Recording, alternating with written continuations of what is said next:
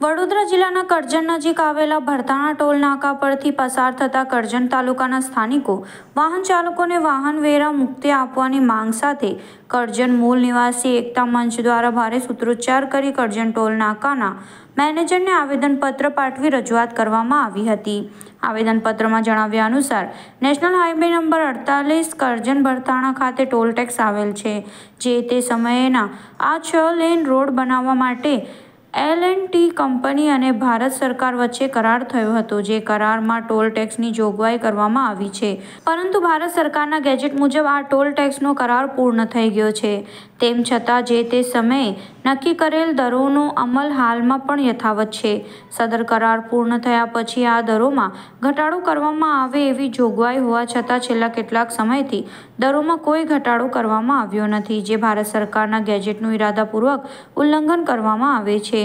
વધુમાં જણાવ્યું હતું કે જો આગામી દસ દિવસમાં અમારી માંગણી સંતોષાય નહીં, તો આવનાર દિવસોમાં નેશનલ હાઈવે નંબર અડતાલીસને ચક્કાજામ કરી વિરોધ પ્રદર્શન કરીશું. આયોજિત કાર્યક્રમમાં મૂળ નિવાસી એકતા મંચના અધ્યક્ષ નિમેશ પરમાર સહિત કાર્યકરો ઉપસ્થિત રહ્યા હતા.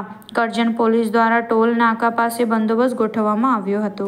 કરજણ ભરથાણા ટોલ પ્લાઝા પર આજરોજ એક આંદોલન કરવામાં આવ્યું છે. કરજણની જાહેર જનતા દૈનિક અપડાઉન કરતા રાહદારીઓ માટે આ આંદોલન છે. સદર જે તે સમયે ભારત સરકાર તથા એલએનટી હાથે આ સિક્સ લેન રોડ અને ટોલ પ્લાઝા માટેના કરાર થયા હતા. એ કરારની સમયમર્યાદા પરિપૂર્ણ થઈ ગઈ છે. તેમ છતાં પણ ટોલ નાકા દ્વારા જે તે સમયના દરોને ઉઘરાવવામાં આવે છે, એ સદંતર ખોટું છે અને જે કાર્યવાહી થઈ રહી છે, એ ભારત સરકારના ગેજેટનું સરેમ ઉલ્લંઘન કરી રહી છે.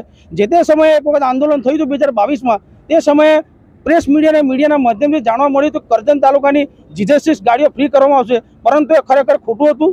એ રાજકીય જાહેરાત હતી. આજ દિન સુધી કોઈ ગાડી ફ્રી કરવામાં આવી નથી અને ખરેખર જે ગેજેટ છે ગેજેટનું ઉલ્લંઘન થાય છે જ્યારે કરજન અ, જીજે સિક્સવાળી જીરો સિક્સવાળી ગાડીઓ માટે સર્વિસ પ્રોવાઈડ કરવામાં એ ગાડીઓને ફ્રી કરવામાં અમારી કરજણની જાહેર જનતાને તમને આરસી બુક કે આધાર કાર્ડ આપવાની કોઈ જરૂર નથી ગેજેટ પ્રમાણે.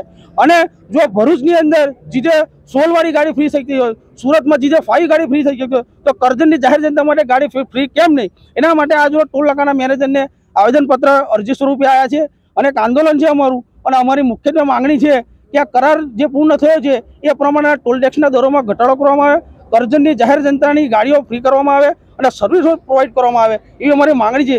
જો દિન દસની અંદર આ માંગણી અમારી સંતોષાય નહીં, તો આગામી દિવસોના નેશનલ હાઈવે નંબર અડતાલીસને ચક્કાજામ કરીશું અમે.